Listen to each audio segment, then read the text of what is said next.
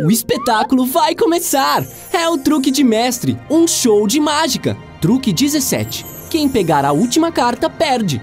Quer desafiar a sua plateia? Vamos aprender este truque com os passos a seguir. Para este truque, você irá precisar de 15 cartas do baralho. Agora vamos à apresentação.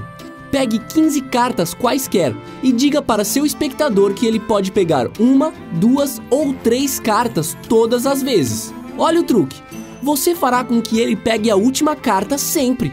Quem pegar a última carta perde. Vamos entender melhor o truque?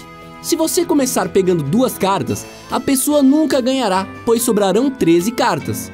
Se ele pegar uma, você pega três. Se ele pegar duas, você também pega duas. E se ele pegar três, você pega uma. Em cada caso sobrarão nove cartas. Agora, leve o número para 5. Se ele pegar uma, duas ou três, você pega três, duas ou uma, respectivamente, para restarem cinco cartas.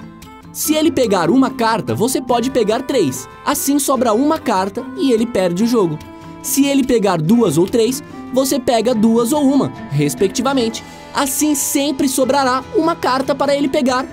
Para ganhar, você deve assegurar que sobrem nove cartas após a primeira rodada e cinco cartas antes da última.